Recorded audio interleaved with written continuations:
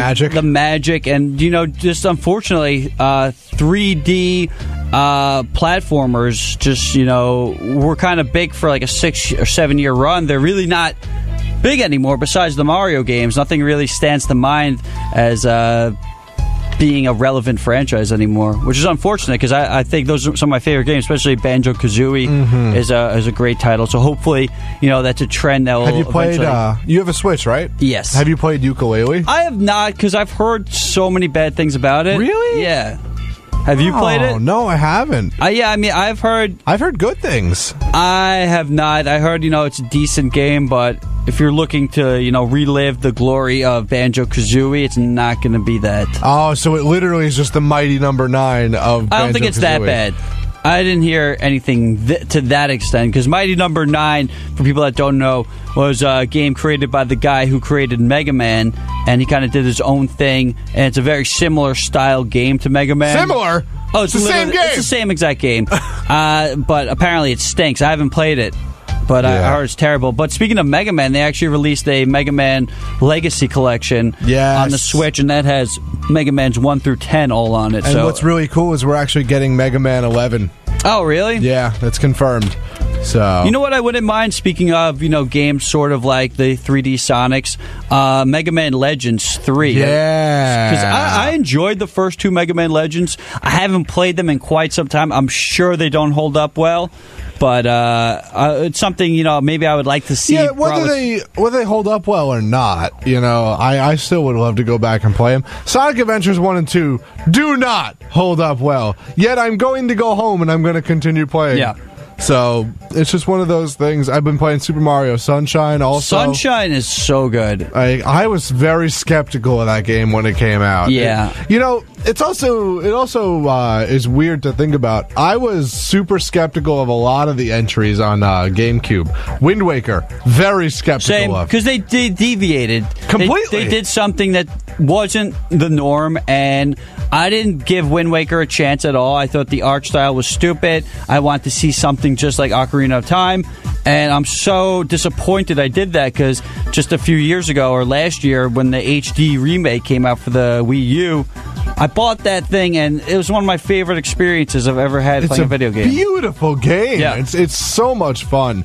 And um, the Star Fox entry on uh, on the GameCube. Actually, the two Star Fox entries on the GameCube. I remember not liking it. Star too Fox much. Adventures was it was an adventure. That's the 3D platformer. It was an adventure. It was an Ocarina of Time kind of game. Yeah, Uh, I remember playing it. Nothing, I, I nothing enjoyed special it. though. No, it didn't. I enjoyed it, um, but it's because I was young and stupid. And what was the other one? It Uh, was kind Star of like, Fox Assault. and that's like the Yeah. classic Star Fox type of game. Kind of. Um, you basically go into these enclosed worlds, uh, and you can actually run uh, in that game and like Okay. uh, be on the ground. Um, and it was two. Uh, it's the second game in the installment where you can do that run and gun. Um, little known thing about Star Fox 64 Yes, multiplayer, right? You if could you do, that. yeah, if you get all the badges on all the expert levels, you can do. Uh, you can run and gun in multiplayer. I never cared for the multiplayer in Star Fox 64. Yeah, neither did I. You know, it wasn't. It wasn't great. I think if you're going to play multiplayer on the N64, I mean, there's so many good games. GoldenEye was great. It doesn't really hold up too well. but you know what? You know, I actually found a game that really does hold up very well. What's that? Um, it's the next 007 game. that Is a it lot on of people GameCube? yeah, a lot of people forget about this game. 007 Nightfire. yes. Great. Great game. I remember You can still it. play it today, and it's still so much fun. I'm gonna say something unpopular here. What? GoldenEye on the 64 is probably the worst game ever made. That's the dumbest thing I've ever Yeah. heard in my no, life. no. Why? The Have you- worst game Why? ever Yeah, made. it's you're just, You're terrible. just saying Did you- words. Did you did you just put Yeah. 007 uh did you put GoldenEye on- GoldenEye hold in the on. same box as Sonic 06? Have you played Superman 64? Yeah. Hold on. You remember But I was here's- surprisingly hold on. good at that But Hold game. on. Let me explain this though. Let me explain this. I played it actually two weeks ago when my friend told me the same thing. He said that to me, and I said exactly what you guys said. That's total crap. There's no way. So I went over his house and we played it, and the game Yes, is incredible. By today's standards, I'm- it's garbage. No, but when you play it emulated to a PC, Yes! the same exact okay, game. listen. hold on, the same exact game. No way. played None. on a PC. Nope. It is incredibly 150 times better. It is probably the greatest experience of all time. You're probably just not good at the game. No, I'm honestly because I'm being because you get shot. There's one level where you have to run through like an outdoor like garage, and there are snipers shooting at you, and there's no way to get through the garage without getting killed at least ten or fifteen times. Yeah, I had that's no the point. in the game. No, and a then- and then That's hold the on. point. You have to be good at games, Joe. No, the point is that that's how you get good. No, the point is that I tried this, and after you died 15 times, it just became incredibly easy. Oh my god! I just oh So my, it's I like didn't the get game- it on the so- first shot. no, but there's I'm one putting thing. it down. But there's one thing getting Go it. back to PUBG. There's one thing not getting it on the first shot, and then it's 15 times in a row, and then it becomes easy. And then we tried it again because I said that's weird.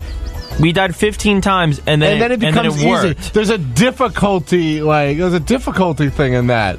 Yeah, and then when we did it again, If you're bad at it, they're like, "Wow, Then he's how about this? bad at then it." how come on the fifteenth attempt and the first attempt, if you restart the level and you put and you try it from your first attempt, how come using the same strategy on the fifteenth attempt doesn't work?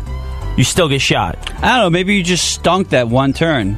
Okay, and then the I don't- second I don't- time, I the same think- I thing don't didn't think work. it's randomized And then the like third that. time, the same. It's not randomized. The fifteenth time, every time. It's also not that difficult. You just Yeah, I don't know getting why it would shot. take you 15 times. What what setting are you playing on? I don't remember. so there's three settings. Uh, I would just stick to the easy one. Maybe Secret Agent's good for you. All I'm, all I'm saying is that when you play on the N64, it is like awful. also okay, because but the to say it's the N64 worst could- game is ridiculous. To, the also the N64 controller is made for exclusively Octopi to operate. Yeah. So it's just I I completely understand. When did you when you were born in '98, right? Yeah. Okay. So you weren't you were te- zero when it came out. Yeah, you were not in the N64 era. You Doesn't know? matter. Doesn't mean I can't use a controller. Yeah, but I think if you grew up playing with it, it would be something Yeah. you'd be more accustomed to.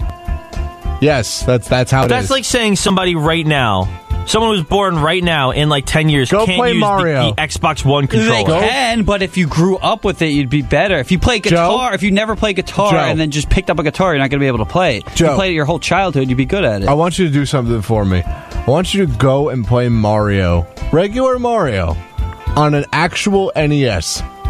See how much different the experience is. All right? No, don't you I don't do own that an me? NES, so I'm out. Okay, you come over to my house. We'll play it. That I want smells you- over there. He's scared. He's scared, ladies and gentlemen. I'm not scared. All I'm saying is that all Smells. Yeah, because all- I have candles in the house. it's the cats, To det- and they yeah. try to kill me. No, they don't. Yeah, they do. I think cats just don't like you for some reason. Most things don't like you. that's true. Speaking of things no one likes, no, you're no, no, listening no, no, to no, Nerdvana uh, right uh, here yeah, on the yeah. voice of Nassau Community Okay, College. fair. 90.3 WHPC. I'm a guy that no one likes named Joe Ritter, apparently. We all love you, Joe, but you say these things. Justin things. Greenberg. you say the worst things That's ever. Colton Murray. So you think it's the worst game of all time? Well, no, you know what I mean. I, I was over exaggerating a little bit there, but you know what I mean. It's, A little it's bit. terrible. A little It's bit. terrible It's not. on an N64. It's not. No, it's I not. just played it. You're and, you know, terrible. it's obviously not Have you as played good. it on a PC emulator? No, because I'm not. Oh Uh, God, you're missing life. It's like that, playing it on a PC emulator. It is one of my favorite things to Oh, do. Jesus. Play on the N64. It's it's awful. Uh, listen, I'll say this. I played Sonic Adventure 2 on a PC emulator. It was garbage. I played it on the NFL. Not the every GameCube. game's good on a PC emulator, but to take uh to take GoldenEye, Okay, on a am I going first-person to sit shooter, there in my free time and be like, oh, let me compare and contrast the emulator versus the original? Let me sit there and do that for every game I ever play so I can enhance my gaming experience. I said it on- thus further. I said it on one game. I said for one game, and he and he takes it to an extreme. I'll say this. I'll I'll give Joe this uh, point. Uh, obviously, if this had a dual analog stick or a mouse, it would probably be a superior game. I was pl- I literally played GoldenEye three days ago, and you know it's frustrating because you're used to playing a game like Halo or Call of Duty where you move with the left stick and you can move around with the right stick, and with this you just kind of move with the one analog stick, and you don't really move up and down. If you have to, you could hold R, uh, but it's you know it's just a different gaming experience. You have to adapt. Even a game like Doom, where you don't even move up and down, uh, I still think is an awesome first-person shooting game. yeah, but when Doom, there's no one on high per- like perks trying to shoot you. For the most everything's part- on the same level. For the most part, at. it's not i- in GoldenEye either. You just have to hold R, and then you can move your. Did you know that? Yes. Did It's- you do it? Yeah, but it's, it's no, I didn't do it. Yeah, I did.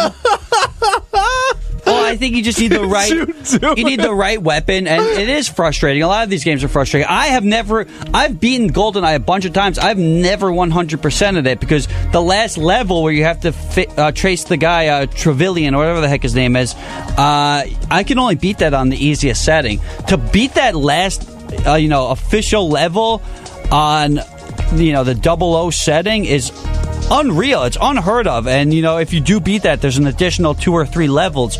I've never done that. Maybe that's something I would eventually get to. But something I'm trying to do right now is to beat the game called The Lost Vikings. And this Oh, is this is a fun game. this game is phenomenal. Uh, basically, it's one of Blizzard's earliest games, if not their first game. I'm not 100% sure. Um, I'm not. Sh- I don't remember if this is their first game, but it is one of the first. Might be the first big title for them. So you can get this game on Super Nintendo, Sega Genesis. I happen to have a buddy who hacked my SNES Classic, so he put this on there, and I actually do own it on Super Nintendo as well. And the great thing about this game is you play as three characters. They have three different techniques and abilities. So one guy's your, you know, your armor. He has a shield. You kind of move him up first and block different enemies. The other guy can jump and he can run fast and can break down walls. And then your other guy's your, you know, your attacker. He has a sword and he has a bow and arrow. And you got to kind of have to use uh, everybody's technique and work together as a team. It's a very uh, puzzle solving game, and I, I honestly could not recommend it more. So check it out. It is The Lost Vikings. It's actually their second game. The first game they had was the RPM Racing was for the super, for the Ah. SNES, but you know, and that was well before. I think I want to say that's like five years before uh, Warcraft? Warcraft. I'll look at- hold on, let me look. I want to say Warcraft 2. I was playing that probably in 96, and I want to say Lost Vikings was 92. So it might No, be Warcraft years. Two was um, I kn- 96 I or know- 7. I know the year for Warcraft Two. It is ninety six. Yeah, it's ninety six. Ah! All right, so At least the wait, no, Warcraft Two is ninety five. 95. Wow. Yes. When did the first Warcraft come out? Uh, hold on. 94? I'll I've never played the first Warcraft, Let me, by let the me find the first Warcraft is, is all right. I'm sure it doesn't hold It's up very- it's very dated. I would love to play some of these old PC games. The only problem is they don't really work on newer computers. Yeah, I mean Blizzard has been going back making classics of a lot of the games. Like they just remade Brood Wars and original StarCraft that you could buy and you could play. Um, I'm sure eventually we'll see Warcraft 3 remastered, which they've been I would teasing. just want to see Warcraft 2, man. I have so many fun memories playing that game. I don't know if they'd ever remastered two or one. I think they might just actually leave them. Mostly because in World of Warcraft, they've been kind of breaking all of the lore that they established Hmm. in those games because it's Blizzard and they're like, whatever, we just want to make money. And Yeah, I don't even need a remastering. I just want to be able to play the game. so Warcraft 1 came out in 94. Wow. right? Orcs and Humans was the name of it. And then it became Warcraft 2 Tides of Darkness in Yes. 95. Wow. So that came out a year later. And then Beyond the Dark Portal, eh, which is an add on for it, came out in 96. Then Diablo came out. Which, is a great game. is a classic, and then the Lost Vikings 2 came out in 97. StarCraft 2, uh, StarCraft that. 1 in 98. Oops. And then uh, StarCraft Brood Wars came out in 98 as well. And then they would start to roll out Battle.net, and then, you know, from there it's history. Warcraft 3, Diablo 2, World of Warcraft, and just the list goes on and on. Oh, Oh, World Joe, your favorite uh, song's playing right now Yeah. from your Right. favorite game. GoldenEye. I love GoldenEye, just No, you don't. not on, it's not No, you on I don't. love 64. the worst game of all time. all right, we're going to take a little break. When we come Yeah, back, we we are are. going to give away tickets to CradleCon. So get your phones are? ready. Yes, I got it right here.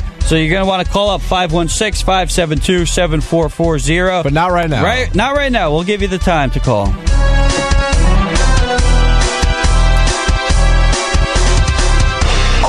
Yo, Tell your friends about the Nassau Morning Madhouse. Hear what you're missing. Check it out. Check it out. Do you So- think that if Post Malone was a piece of crispy bread, his name would be Toast Malone? Just I never thought about that. What if he's like super into Halloween? He'd be Ghost Malone. what if there's like more than one of him, but like he's the best out of all of them, so he's the most Malone? what if he never like stops talking about his own music and he's just like super like into himself? He'd be Boast Malone. like, Wow. And if he walks the beach, he'd be Coast Malone. Like- and if he throws a party, he's Host Malone.